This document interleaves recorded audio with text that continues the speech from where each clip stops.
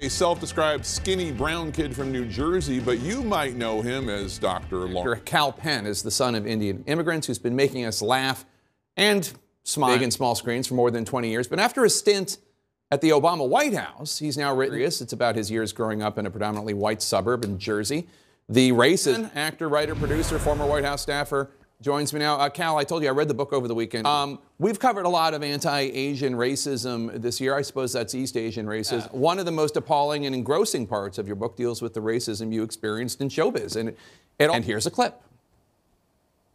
I say we do our project on the gold rush. Mm, I say. Pro-